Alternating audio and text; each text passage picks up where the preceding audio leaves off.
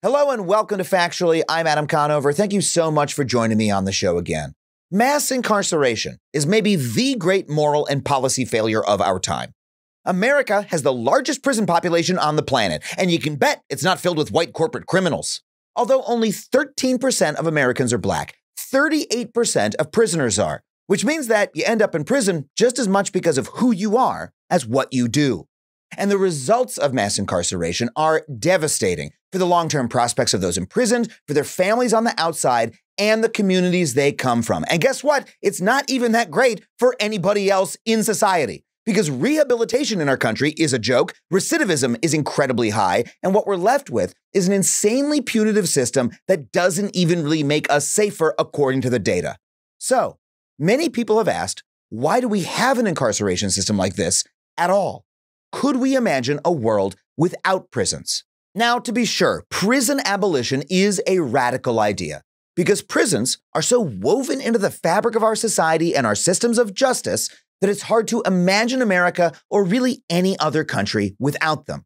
But it is an idea that is worth taking seriously because if we do, it can point to what is truly unjust about our system and how we could imagine a better world, especially if we dissect it using the best toolset we have to understand ideas philosophy. And this week on the show, we are going to do exactly that. But before we get into it, I just want to remind you that if you want to support this show and all the conversations we bring you every single week, you can do so on Patreon. Head to patreon.com slash Adam Conover. Five bucks a month gets you every episode of the show ad-free. We have a bunch of other great community features as well, and we'd love to have you. And if you want to come see me on the road doing stand-up comedy in a city near you, head to adamconover.net for tickets and tour dates. And now, let's get to today's guest. His name is Tommie Shelby, and he's a philosopher and a professor of African American studies at Harvard. And while he himself does not identify as an abolitionist, his book, The Idea of Prison Abolition, does an incredible job of taking the ideas of abolition seriously, steel manning them, if you will, seeing what they have to offer and how they can point us towards a more just world and society. I know you are going to love this conversation, so please welcome Tommie Shelby.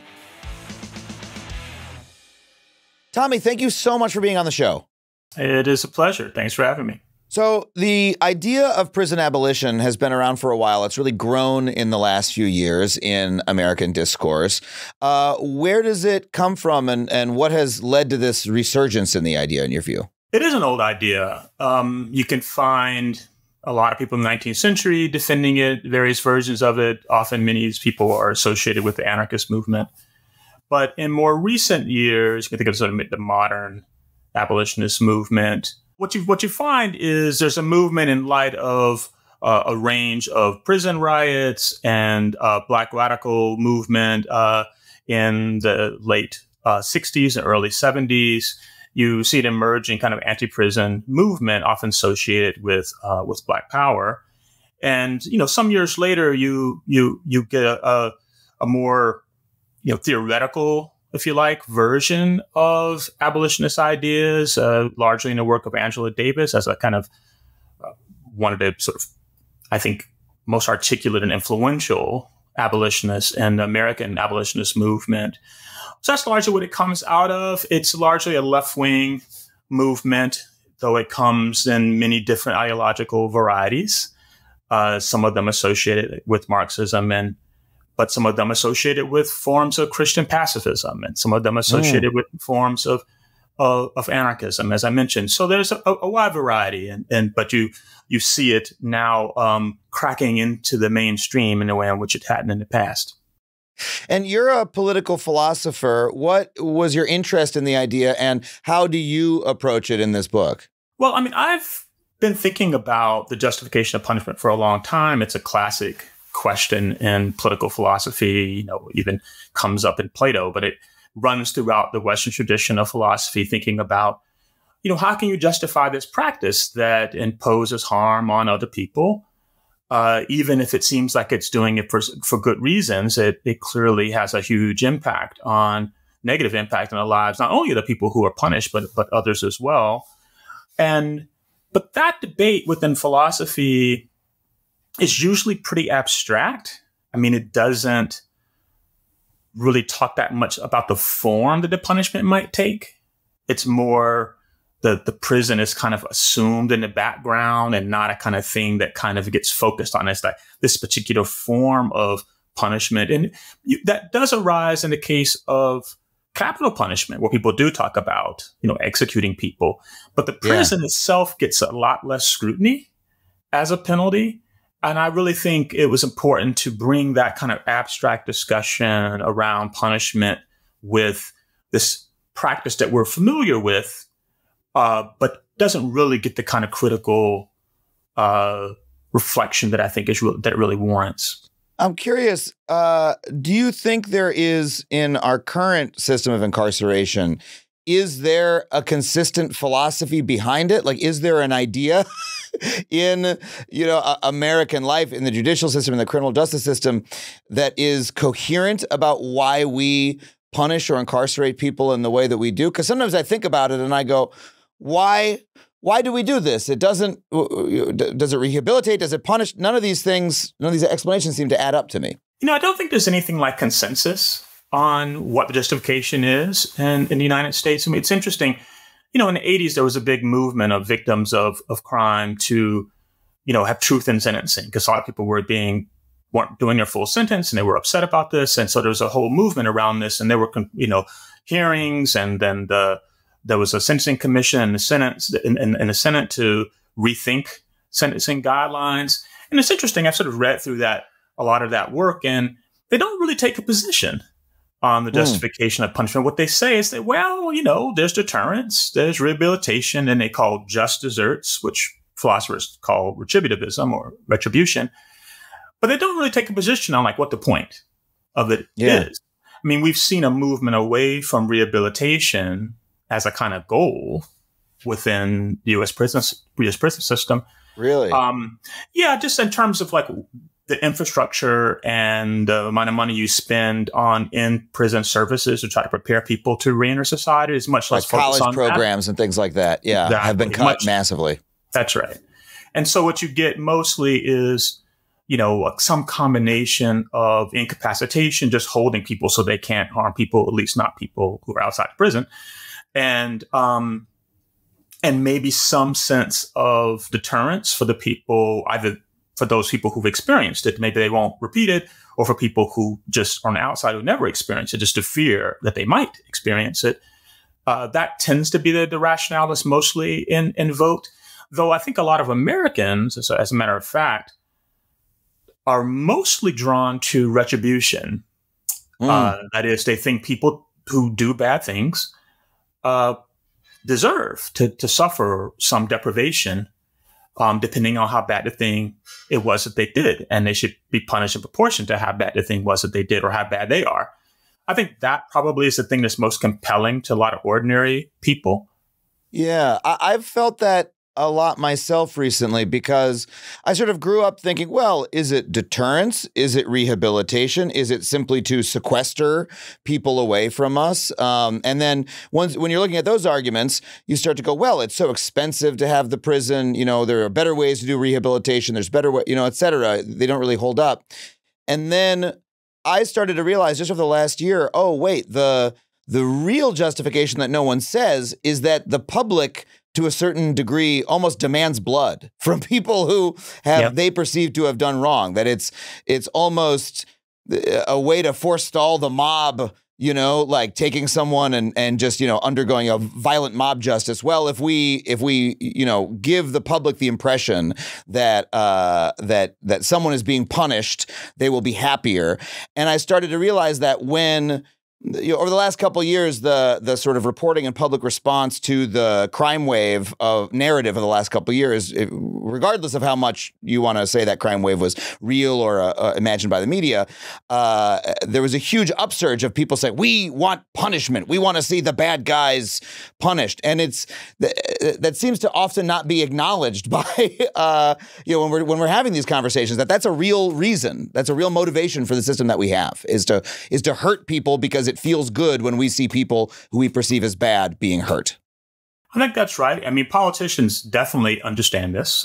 Yeah. um, uh, maybe uh, academics and other intellectuals, uh, liberal-minded people may not take it as seriously, but certainly politicians understand that this is a current in the public. And if you can, whether through propaganda or misinformation or whatnot, persuade people that they're just really horrible people and there's a crime wave and so on, then that can, you could, that allows people to ramp up the punishment. And there's not much of a political cost to politicians to being really draconian in mm-hmm. in that because it does satisfy, as you say, a, a perceived need that people have. People think they, they need this to happen. And um, either for some combination of public safety, um, but probably more often a sense of vengeance and having that satisfied. And I think for a lot, I think it's important for us to have open discussions about, you know, revenge and retribution as motives, because I think there's a, a, lot to be said against that as a as a way yeah. to approach uh, criminal justice in a democratic society. Well, yeah. What argument would you make against that motive? Well, I mean, the, the, there are many things to say, be said against. I mean, the principal idea is that people deserve to suffer because of things that they've done wrong, and that I think intuitively it just kind of I think it probably hits uh, a, a kind of deep impulse to retaliate when you've been wrong. That's that's mm-hmm. in us, but it's hard to explain why, morally speaking, it's good that people suffer, right? So right. you might think it's always bad. Is what I think. It's always bad that people suffer. It's never good. It's not intrinsically good. And the only thing where you could justify in, in making people suffer in this way is because you're trying to prevent a worse thing. It can't yeah. be that it's good in its in itself. I think it's hard to explain. But I, am also com- compelled by the thought that even if you could explain that, like maybe you have some justification for it, maybe it's rooted in theological beliefs that you have. I think for many people it is. Yeah. Um, a sense of their faith and what they read in what, whatever sacred text that they uh, have allegiance to. They uh, that can't be the basis for criminal law in a democratic society. It's a it's, yes. a, it's a sectarian reason for a, a, a, practice that affects us all. And many of us, of course, do not subscribe to these religious views. And that's the legitimate justification to say that, well, you know, my God punishes people out of a sense of vengeance.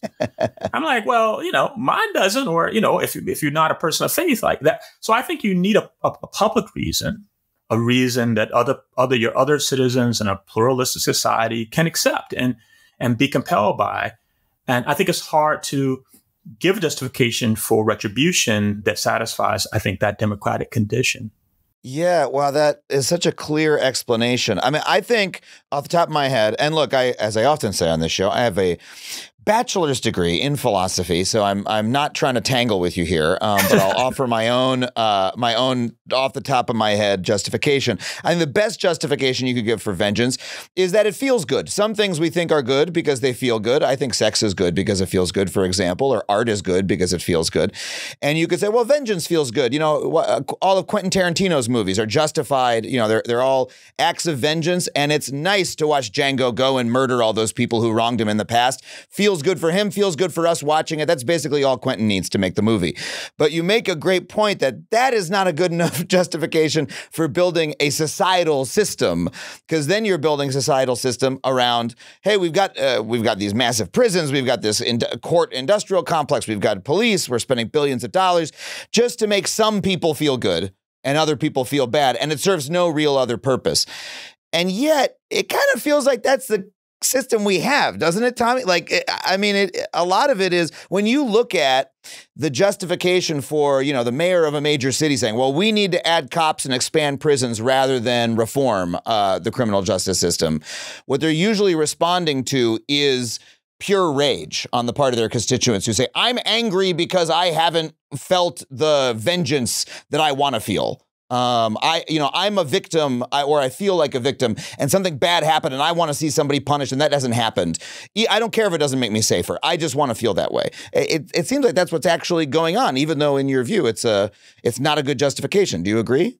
I do. I mean, I think that is the reality on, you know, yeah. uh, on the ground that, um, you know, politicians do things for many reasons, um, and and and often not for uh, reasons of justice, right? I mean, they, they, so so sometimes they're they're trying to get reelected, um, or um, or get elected, and this sells. I mean, t- telling people who, if they've been convinced that there are horrible people out there and there's a crime wave and so on, people are getting away with it. Uh, it's an easy move to crack down on it, and and it's actually you know less expensive to do that than to provide the kinds of programming, uh, social programs, or redistributive efforts uh, to raise taxes to, to, to, fund those things than it is to um, just as much expensive to do to do those kinds of things, promote promote equality and social welfare than it is to uh, have draconian uh, criminal justice policies. Well, I, we spend an enormous amount of money on police and prisons, and we don't need to get into the numbers. I think there are some folks who might say, "Hey, the programs I propose are cheaper," but it is more politically difficult to put those programs into place uh, as well because there's so much uh, of the system is is pushing in the direction of more cracking down, more incarceration, et cetera. But sorry, please continue your point. No, that, that I mean, I but people people do dispute how much it would cost. It depends on how how much social change you think is required, right? So how much it, how much uh, it might cost to do something other than uh, spend more money on on cops and prisons. Um, but it's also just true that the public is more prepared to spend money on on cops yes. than they are to create a, a fair society or to attend to the needs of the worst off. So there's much those kinds of appeals, as many politicians have tried over the years to try to appeal to people. Look, you know, we're a really, really rich society. It's kind of ridiculous. We got all these poor people. You know, it seems like we should do something about that. But that doesn't. It's hard to get anybody to support that. Uh, but it's pretty easy to get people to support, you know, more police or putting more people in prison, especially if those people are are black and brown and thought yes. of as, thought of as inherently dangerous. Yeah, and if we have a criminal justice system and an incarceration system that is built on the lust for vengeance and making satisfying that desire, well, that that means we end up applying that system towards people who haven't actually hurt anybody, but have simply you know, are being judged by those other people. You know, if if it's a I want people I don't like to be punished, well then that might include people of color. It might include people who have addictions, if that's considered to be a moral failing, which um, I would say most people probably incorrectly uh, think of addiction as a moral failing, etc. And so then it leads to this propensity hey, let's throw all those people in a place where we can't see them. That makes me happy. If all those people I think uh, are, are you know, horrible blights on society, they're being punished, then I, then I feel good about it. Um, and that's when you get to the conclusion that I feel like I've come to uh, in all my years of looking at the criminal justice system that in many ways is just designed to take elements that are seen by the dominant culture in America as undesirable and shove them away and say we don't want to look at these people. Let's put them in a little box somewhere. Um, that seems often what it's designed to do. Does it feel that way to you? Or I guess maybe a better question is what uh, uh, it seems as though you have examined work of people who feel the same way I do and have have uh, are, have gone to conclusions beyond that about how we should reform the criminal justice system. What, what do you think about it? I think the, the prison system plays many roles, right? Mm. So one of the and, and, many of them are nefarious, right? So there, uh, the roles you, you, you mentioned, there are a, a lot of people who are stigmatized, uh, marginalized, thought to be undesirable, and people don't really want to regard them or don't regard them as equals, and and they fear them, and yeah. as a result, they they they want them removed so they don't have to deal to deal with them, and maybe they also have hostility toward them, and they don't mind that they're being harmed in this in this way, and take some pleasure in that. So I think there's no question that that plays a role in penal policy and and how the electorate uh, responds to demands for, say, more police or, or longer sentences. Um, you know, so you can have a practice that plays a role like that. That's that's really terrible, but that also does some positive things too, right? Mm. So it, it, so it, it, can be the case that, uh, it, and I think there's much to be said against a system that does those kinds of things and other things that are that are, I think are clearly unjust. Um, but I think what reformers think is that you, what you try to do is remove those elements and keep the, the positive dimension, which has to do with securing public safety. Uh, I don't think that using prisons should be the first thing we do. It, I don't think mm-hmm. it should it shouldn't be our default response to harmful wrongdoing. Uh, there are many other things we can do besides that. Um, and some of the penalties, even if you want to apply a penalty, there are other penalties that don't involve incarceration for long periods of time, which I think is extremely harmful, not only to those in prison, but to their families and their communities. But there are some times when, um, you know, you do have to resort to such drastic measures. And I think in the cases where the, the person has done something that's uh, causes great and irreparable harm, like in the case of murder or uh, violent sexual assaults that cause lasting trauma that people don't often don't recover from. It's just extremely important that we prevent those things. Yes. Um, and we should try other ways of preventing it, but sometimes we don't have an, a, a good alternative. And so the question is whether you can have a practice that tries to discourage people from doing those kinds of actions or incapacitates them if they can't be deterred whether we can do that in a way that you can really justify to the people who are harmed by the practice. And I think mm. that's kind of the, the, the, the, difficult philosophical question, if, if there is one here. When you say justify the people who are harmed by the practice, just your last sentence, can you can you just expand on a little bit? Because I'm still sure, trying to follow. Yeah. So if you think this is a harmful practice, so I think it's bad that people suffer under poverty in in, in, in, in general. I think it's particularly bad when they suffer or harm because they're incarcerated for long periods of time, separated from yeah. their family, lose their freedom. It throws them all off in all kinds of ways, and it's very hard to reenter society and be and be productive and and um, content. So, if you're going to do that, I think you need to have a good justification to the people who you're going to impose this harm on. I don't think it's it's not just that oh you did something wrong. I think it's that you've what you what you've done is caused really great and irreparable harm to others. And not only should you not have done that, but uh, you could have not done that. Mm-hmm. And uh, that opportunity to avoid the penalty that is is part of our justification justification to them. That is, you don't have to face this arm of the state, this violent arm of the state, if you can restrain yourself in these ways, and you can restrain yourself in these ways. That's part of our justification to them.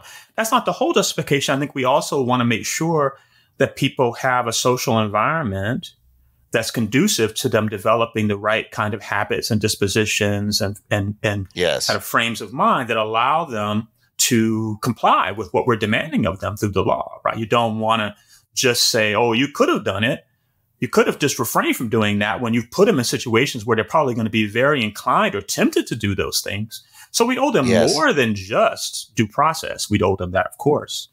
But we also owe a, a, social environment that's conducive to people living up to their duties as, as citizens and fellow human beings.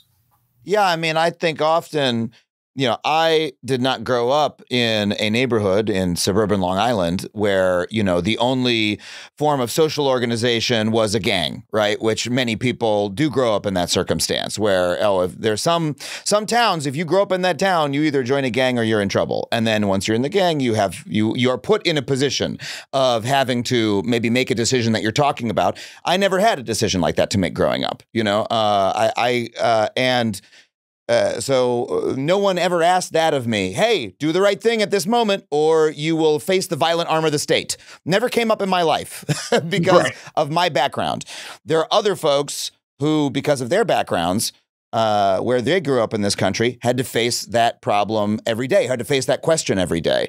Um, and to me, that's when it starts to seem very unfair, right? Because, like, well, all right, someone fucked up one day out of the, it happened to a, a hundred times, and then once they fuck up, and then they're in prison for you know a hundred years or whatever. Whereas you know other people are walking around never having had to face this, going, "Oh, geez, make sure you do the right thing, or that won't happen to you." You know, it's right. it's a very uh, that's when it starts to seem very perverse.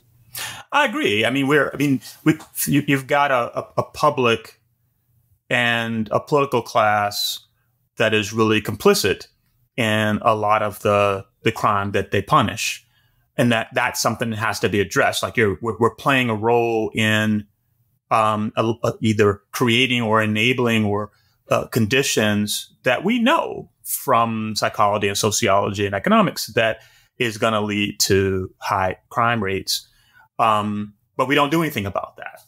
So now that that I think for me that means that a lot of the punishing that we do, we don't really have a good justification for doing right. it. Um, and we should really pull way back from using, especially incarceration, but maybe other kinds of penalties to try to deal with it until we can try to get our stuff in order, right? Um, but it may be that in the meantime, that it particularly serious crimes, and I, I, I, tend to focus on on murder and, and, and rapes because of the, the, the kind of harm that they do, and yeah. that's different from someone stealing your car or whatever, right? Um, you can get a new car if there's money, you know, you can you can deal with that, right? You can always find a way to kind of repair the situation, but you can in these other cases. So I think in those cases, even in a society like our own, that is, I think, unjust in a, in a range of ways, um, and that um, makes it very difficult for a lot of disadvantaged people to comply with what we uh, generally would expect from people. Um, in that kind of situation, we should really pull back and say, look, we're a lot of these crimes are minor, and yeah.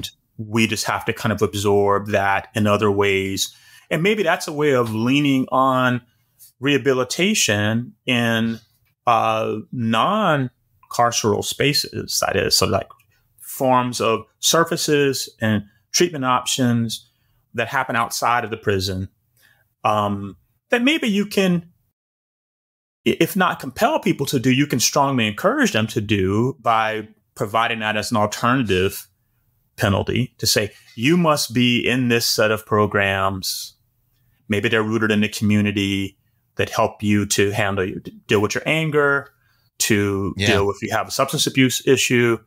Um, and if you do that that program, then we won't impose these these harsher penalties, and that might encourage them more people to do that. That requires money too, because you you know you to to do that.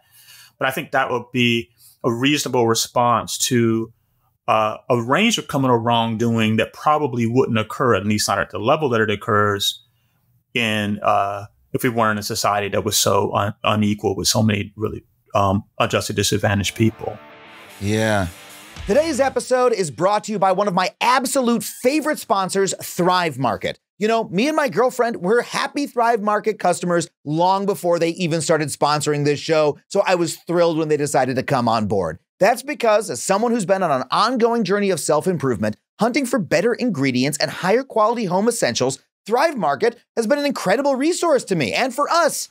I mean, I am so happy that I can share this with you because Thrive Market is a mission driven marketplace, and that means they're your go to for groceries and home essentials that you can feel good about. They offer brands with top notch ingredients and sourcing methods. I love that I can easily filter through hundreds of ingredients across their food and cleaning categories tailoring my shopping experience to fit my lifestyle. For instance, my girlfriend is strictly gluten free, and we can use their features to filter out so that we are only looking at gluten free pantry staples and can just add things to our shopping list with a few clicks. It is so convenient. And ordering stuff like that online and having it all delivered straight to my doorstep is a massive time saver. And get this, I swear this is not in the ad copy, okay? Me and my girlfriend now feed our dog out of the Thrive Market box because you know what? It's packaged with lots of crinkly paper, no plastic in the packaging, and it makes a perfect thing. We have a really uh, energetic cattle dog, and we sprinkle her food in there, and then she spends the next half hour digging in the box of paper to get her food out. It's very cute and a, an added bonus of the Thrive Market box that I bet they don't even know about. And plus,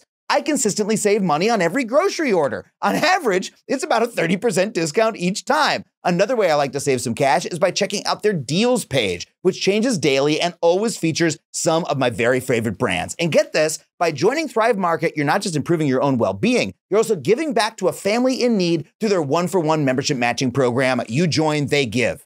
Thrive Market brings together convenience, quality, and social responsibility, making it an essential part of my journey towards a healthier lifestyle. So join me in the savings with Thrive Market today and get 30% off your first order plus a free $60 gift. Head to thrivemarket.com slash factually for 30% off your first order plus a free $60 gift. That's T-H-R-I-V-E market.com slash factually. Thrivemarket.com slash factually. Your belly and your dog will thank you. That is such a wonderfully nuanced view that you present of incarceration, of when we might use it and when we might want to avoid it. But there's a range of thinkers. You mentioned Angela Davis, who take a more radical view that uh, the the system is so uh, unfair, so fucked up in it deeply that it's impossible to uh, make those reforms, and that it needs to be removed to some degree, right? I, I assume that's a, a, fair characterization of, of abolition. So, what what sort of arguments do uh, those folks make, and um, yeah, how, how do they how do they go? Yeah, they have lots of different arguments. I mean, part of what I try to do in the book is um, engage what I think are the strongest arguments for mm-hmm. abolition. It's not my book is not the case against abolition or anything. I'm really trying to learn from them, even though I'm not a radical abolitionist. I, I, I, think I have learned from engaging with their arguments. Um, some of the things that they're up to have to do with a broader vision of society that I think is often at the root of it is that they they're really for uh, a, a, much more egalitarian society than we have, and so they're uh, about the business of building that, and they think that many of the people who find themselves in prison, and we know this, right? That, you know, some large percentage, like the last time I checked, you could have, you know, some 80% of the people don't even have a high school diploma. Many of them are coming from the poorest neighborhoods, either urban or rural. Um, many of them minority. So what they're often about is they think we're instead of being about the business of creating that society that really warrants our allegiance and support, the good and just society, what we do is we just try to contain these problems that are created by living in an unjust one. And one of the ways we do that is just warehousing a bunch of people who we don't have a way to uh, deal with other than that way, because we're, we're not going right. to try to meet their needs. We're not going to ensure that they have good employment and good housing and so on. So we just kind of warehouse them elsewhere so that they're out of sight. Right. So, we're not going to feed people. We're not going to educate people. And then when they get so hungry or crazy that they do something horrible, well, then we'll just when it when it actually affects us, we'll just warehouse those people away. We'll we'll deal with the symptom, but we'll never address the cause. That's right. I think that's a big part of it. Um, sometimes I think they they. I mean, I, I think the probably the strongest argument that they have for taking action now to dramatically reduce number of people we have in prison um, is that the way we handle the problem of crime is not terribly effective. I mean, that is mm-hmm. so having really long sentences don't really doesn't really seem to bring the crime rate down significantly. Um, and and so a, a lot of the argument is is based on an analysis of the history and of the social facts of the situation where they just think this is not really a good way to deal with this problem. Let's try some other ways, right? So that's a big part of it. Um, some of it, I mean, so you you could think of their objections as coming in two forms, right? So one form is this is an inherently wrong practice. You know, we should really just not have a practice like this and there you'll see things like comparisons to slavery or other things like that. Practices mm. that there's no form in which it would be acceptable. Right. Yeah. So part of it is just to make a case against it on moral grounds. And the other part of it is to make a case on grounds of, of effectiveness, to just really get into the nitty gritty of the empirical reality and ask yourself, is this really the best way to handle the problem? Or do we have alternatives? And I suppose there's a kind of third category that's more politically strategic, if I can put it that way. Um, that if they, they're trying to get people by having them see the limits of building up this mass criminal justice system, the limits of that, and how it distracts us and uh, from the, the the social justice injustices we really should be trying to address. We're over here just focusing on uh, you know, our perception of crime going crazy or something like that. Uh, when really what our attention should be on all the ways in which there's the society is rife with exploitation and, and oppression.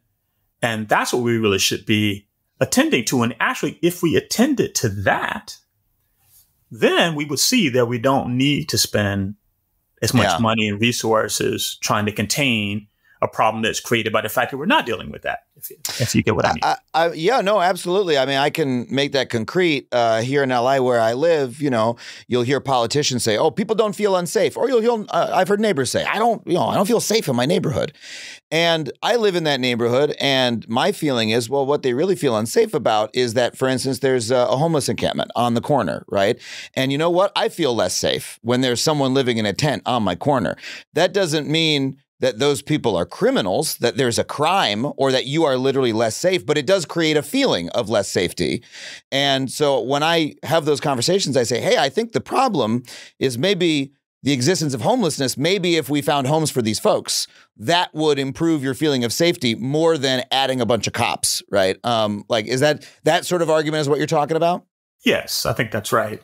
I mean, I'm, you know, because I'm interested in I'm interested in the politics. Obviously, I'm interested. I, am a citizen, human being. I care about social justice, and so I mean, I, I'm engaged in these issues intellectually and philosophically, partly because I think that they're really deep issues that that that don't just bear on, you know, the U.S. and its politics, mm. but more that that force us to kind of reflect on a practice that's been around for a while that we just kind of take for granted yeah. and treat as natural. And we don't reflect on what we're doing. And I think it's really important to not just treat it as just kind of, you know, a, a kind of common sense that can't be questioned that yes. this is how we handle the problem of crime. So I'm interested in that. And my contribution, if there is one here, is to try to get people to reflect on this this practice doesn't exist here. It exists in every single modern nation. Yeah. But I think there's real questions about, you know, whether this is the way to proceed. And even if we we come we reflect on it and we think, you know, we it really is an indispensable, socially necessary practice, I think the what the abolitionists are doing are forcing us to think about whether we should do it the way we do it. Even if we need to have it, maybe there's a different way to do it. And so I I embrace that challenge for that reason because I think it's just too easy to just take it for granted. It's not unlike the the movement to kind of end the death penalty, right? I mean, it's like you got to practice. It's been around a long time and still exists in some places, including parts of the U.S., where you know people think, yeah, the person did this thing, you just kill them, or in some cases, you you torture and maim them. And yeah. these practices have been around a really long time, and for a, a long time, people didn't really question them. It just seemed like obvious. What else would you do, right? Um, but now people do think about that. I think, no, actually, regardless of what people did, we're not going to like cut off their limbs. And, and then at least many of us think, nor are we going to take their life. Uh, even if it did reduce the crime rate, we're still not going to cut off their limbs and take their lives. Right. So I think that question is, is not just a, a you know abstract philosophical question when we ask it about the prison. I think it's one that we should be seriously thinking through. Like, is this like maiming, torture, and the death penalty?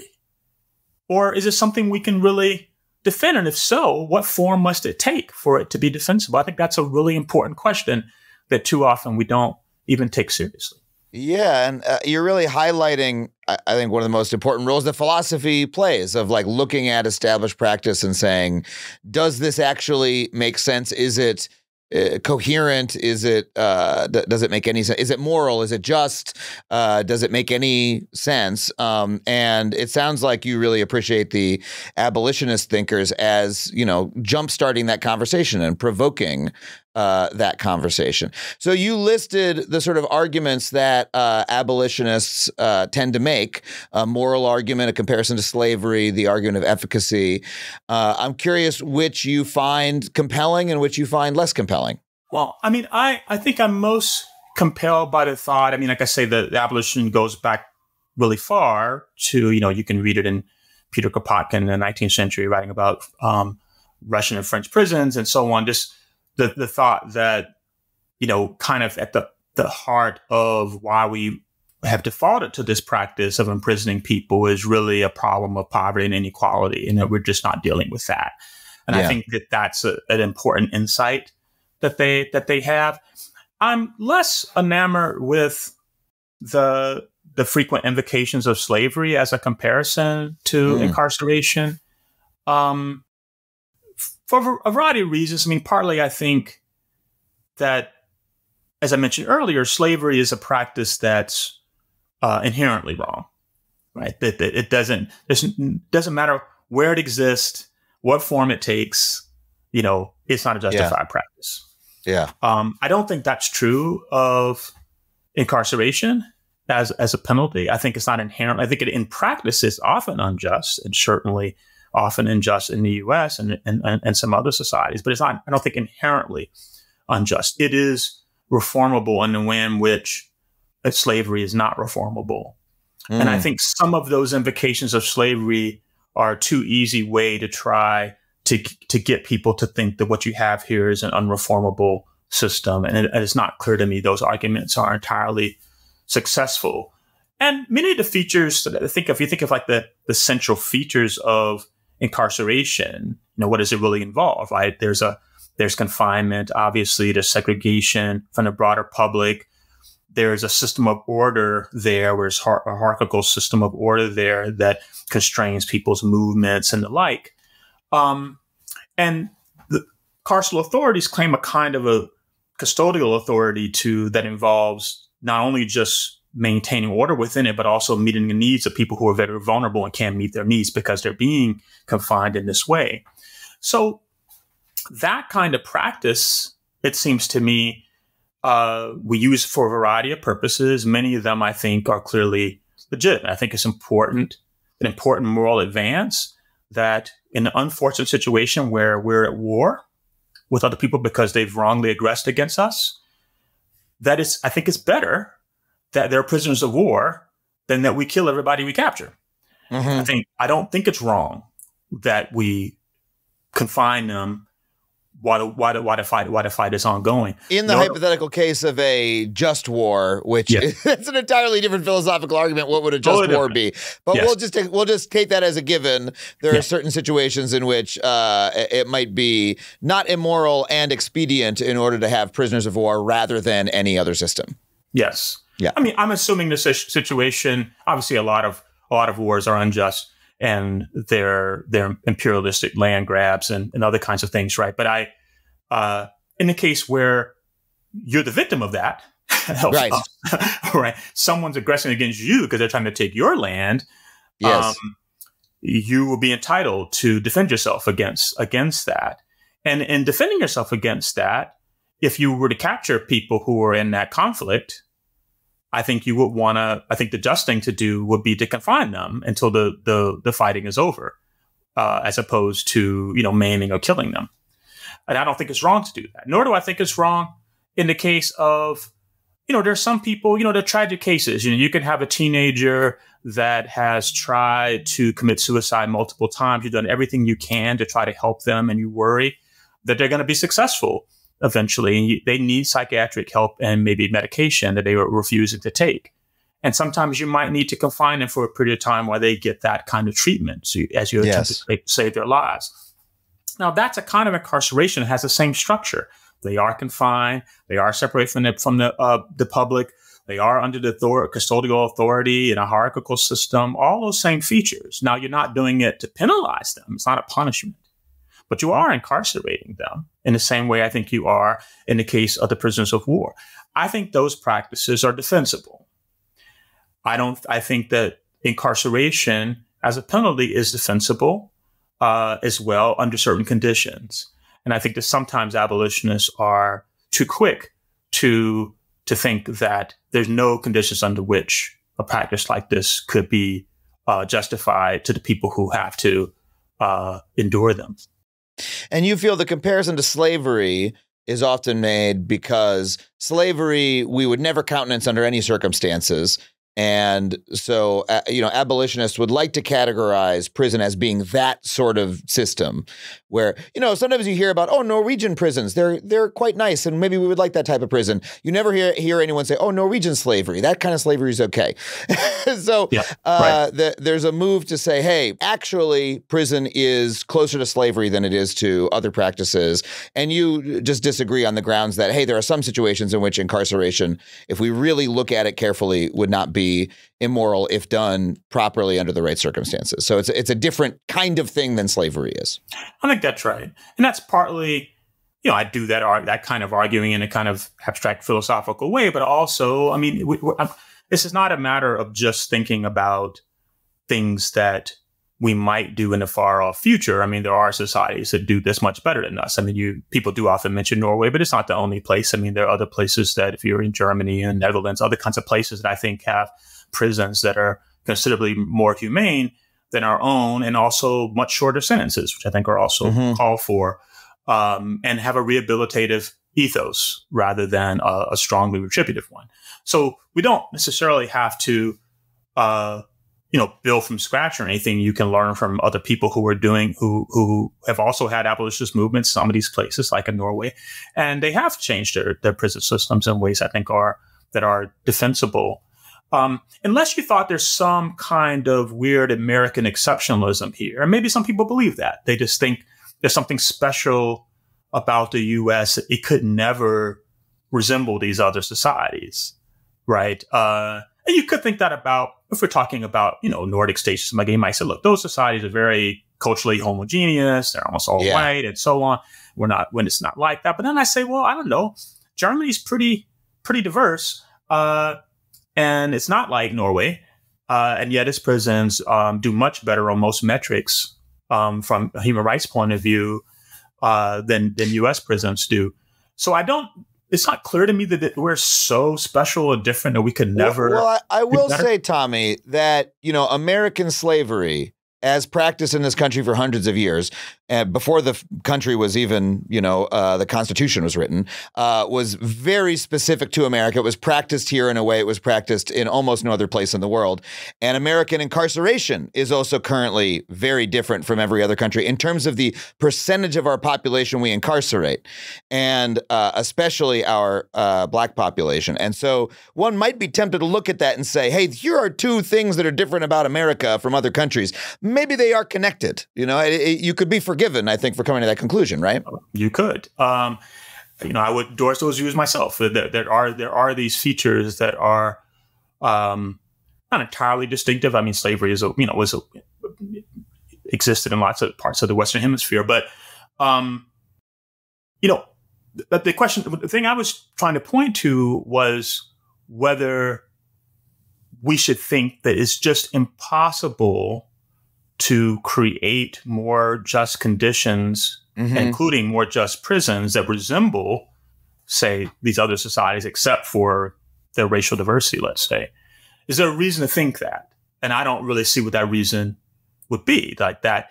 And, but even if you thought like we, we can't approach it, it's still not clear to me. I mean, what does that leave you practically speaking? Right. So why then is prison abolition your demand? I mean, if you think you know, we can't actually create a pluralistic, democratic, just society, mm-hmm. um, then I don't understand what you know. Why is your call the, the abolition of of prisons? Maybe your call should be like some conservative black nationalists I have in the past who thought, well, what you really should do is that we should just give up on this experiment of a racially pluralistic democratic society and people can't live together like that. So we should go try to build a society with people who are more like us. That would make right. more sense to me than saying, uh, no, we should do is, you know, you know, is not have criminal law. Uh, which I don't think is the the right response, even if that's the if that's your diagnosis. That's really fascinating. That if your view of American society and its potential for change for the better is so negative and pessimistic that you can't imagine this country ever having a system of incarceration that we would truly consider just. We have to eliminate incarceration altogether. Then you you yeah maybe like well then what do you want to do? It's it's difficult to then figure out what we what we do then, right? Um, like if we could abolish prisons, but then we still have a extremely racist, unjust society that uh, you know that is un- that is was the result for the creation of the prisons in the first place, and so presumably you would think that would be unreformable as well. That's kind of what I would think. I mean, I mean, I'm mm-hmm. with the abolitionists and thinking. Um, I mean, my own view is on the question: Could we build a society, a just society, that didn't rely on incarceration as punishment to provide public safety? I'm just agnostic on that question because mm-hmm. I think it's very hard to know what human beings will be like under these rather different social conditions that I think abolitionists envision. Will will there be? I mean, I think they have a pretty optimistic view of human nature and probably think that when people uh, do really bad things, to uh, that that's probably a, a, matter of their upbringing or something like that. And if you could restructure the society in a way you wouldn't have people who will behave in those ways. I think that's a very optimistic view of human nature. I'm more inclined to think that, you know, human personality is quite diverse and even under very different conditions, you're going to see people behave sometimes in ways they ought not, and including them doing really horrible things to other people. Maybe I'm wrong yeah. about that. Uh, so I'm prepared to, to, to be agnostic on if we could build the truly just society and eliminate poverty and the kind of things abolitionists want, maybe we wouldn't need it. And if the if the problem of public safety was not severe, I think we shouldn't rely on the uh, prisons to try to deal with, say, a, a, a small amount of criminal wrongdoing. Uh, but that still leaves us with the question of what to do in the meantime. And uh, and there, I think, at least when it comes to some kinds of criminal wrongdoing, it seems like the best way we can justify our actions to those who will be harmed by that wrongdoing is to take measures to try to prevent it, including up to incarceration, at least in some cases. Yeah, well, tell me more about, uh, you know, again, this has been a somewhat abstract philosophical conversation in some ways, but, uh, you know, we are talking about something that's very real. Uh, and so, you know, given this, we had a very thorough discussion of abolition. Let's talk about reform. Like, what what are uh, reforms that you would, you know, like to see in the in the most concrete terms possible? Let me try to say a few things. I mean, you have to think about um, reform even if you just, just set aside background social justice and just focus on the criminal justice system, you, you, are going to need re- reform at various parts along the way. So you need some of them are before anybody ever goes to prison that have to do with ensuring that due process is strong, right? So that probably means things like making sure people have proper defense, that that that poor disadvantaged people have lawyers to give them the defense that they that they need it probably means reducing the power of prosecutors to use throwing tons of charges at them and threatening them with long prison terms to get them to uh, give up, you know, their right to a trial, which is mostly happens. You know, we only have about five percent of these things actually ever go to trial. They're mostly just worked out in plea bargaining, which usually often happens because the person isn't doesn't have access to to an attorney um, and they feel like the public attorney they're going to get is probably because they're overworked and have too many cases and not going to do a good job by them. So they often take the offer from the prosecutor in this case. So some of the reforms are on that end, right? That just have to do with that, including bail reform, right? And we, we, we don't, I don't think we should be putting people in jail um, just to ensure that they show up for the hearing or for the trial. Um, I think only we should only do that in cases where we think the person is an immediate danger to others, and that would release a lot of people from from the system. But those are fun end things. There are lots of things you do within the prison, which has to do with in prison services, uh, education, vocational. Um, people need treatment for drug disorders, drug use disorders. People need psychiatric help to deal with their anger and other kinds of uh, unresolved trauma. So there's a range of in-prison services that we don't really provide, not nearly at the level that we need to. And there's much to do on after, right? We have a, a problem of, of recidivism. And a lot of that's because we don't prepare people to reenter society and we don't support them when they do reenter society. I mean, ideally, when a person has served out their sentence, they're welcomed back into society as an equal instead of treated as a permanent pariah permanent outsider and, outsider and stigmatized for the rest of their lives, deprived of the right to vote, finding a hard place to get a job, not getting access to educational funds, and so on, right? So you have to work on many fronts, I think, to make a practice like this fully justifiable. And I'm just mentioning a few, but those are the kinds of things I think we will really need to do if we were going to be able to justify this concrete practice that we have to the many people who suffer because of the way it's currently structured and practiced.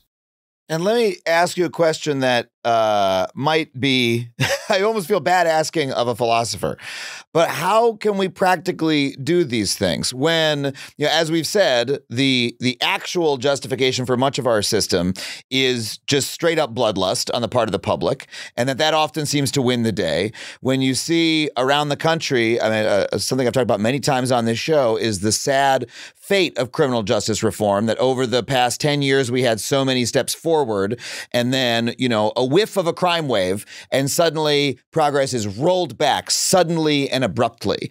Uh, you know, if you look at even just what's happened since the murder of George Floyd, right? That we had uh, the dialogue went in one way in this country and then suddenly snapped backwards the other way. And I think it's still to be seen whether we're going to end up, you know, further towards justice uh, or further away from it than than where we started. Um, right. Uh, how how much faith do you have in the ability of our system and the public to be responsive to?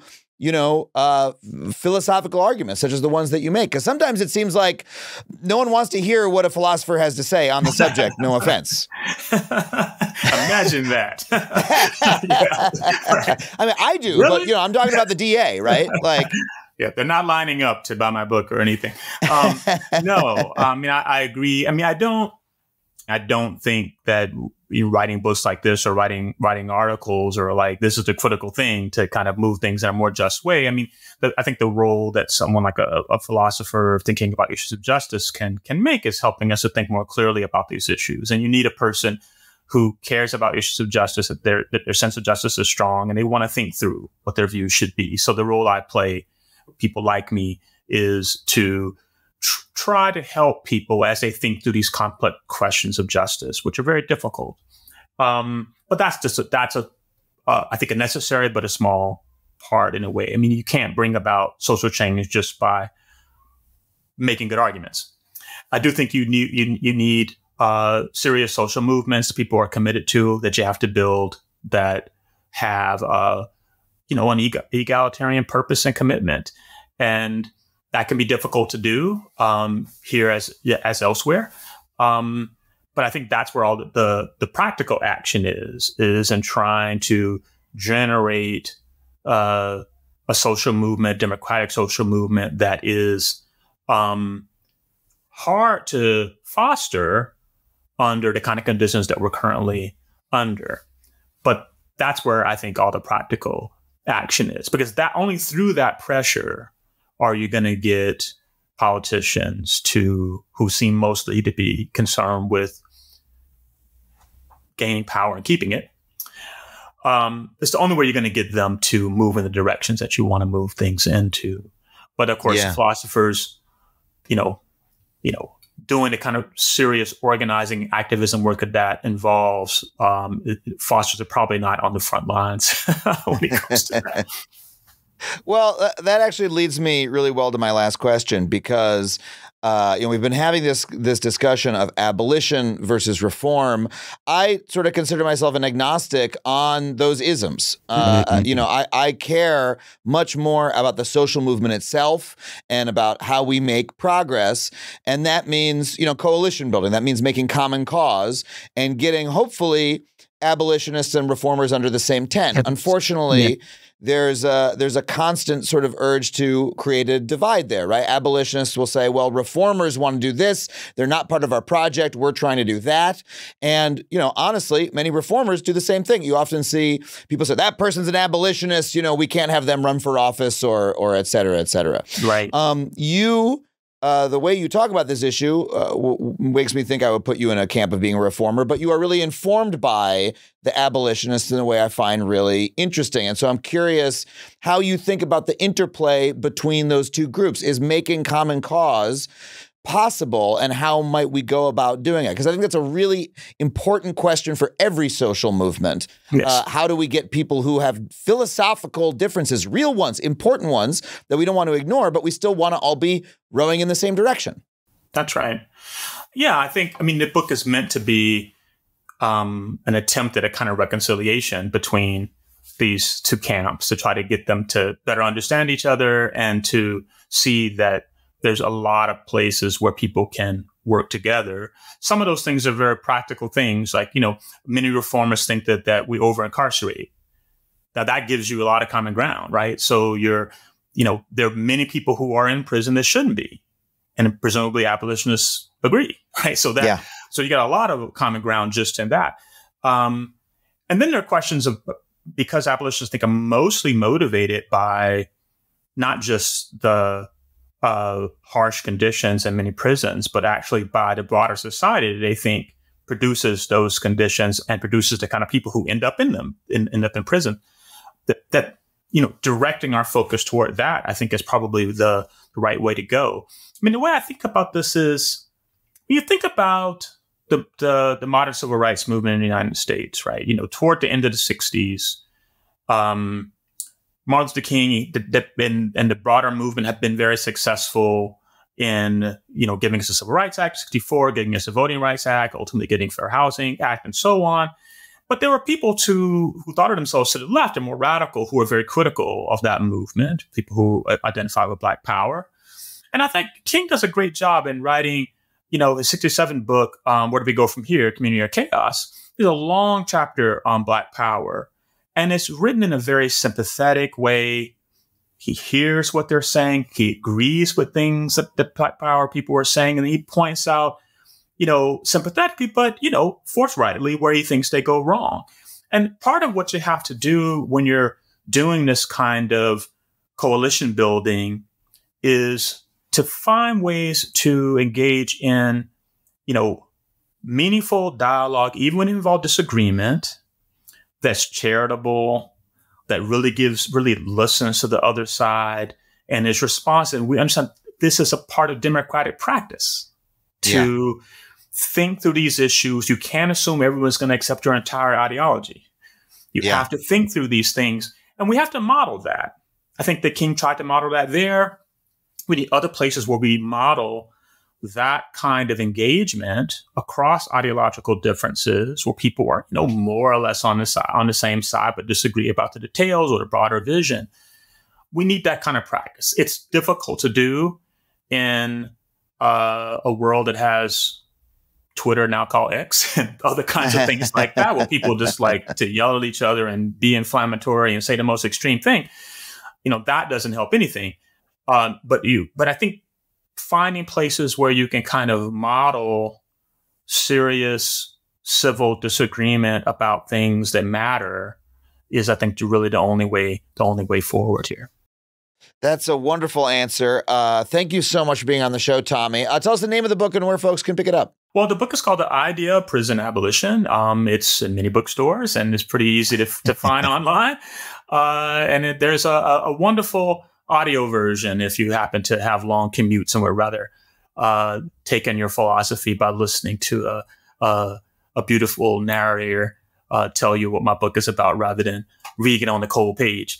So, uh, so please check out the idea of prison abolition. And of course, as always, you can pick up a copy of the book at our special bookshop, factuallypod.com slash books, if you want to support the show. Tommie, thank you so much for being on the show. It's been an incredible conversation. My pleasure. Thanks for having me.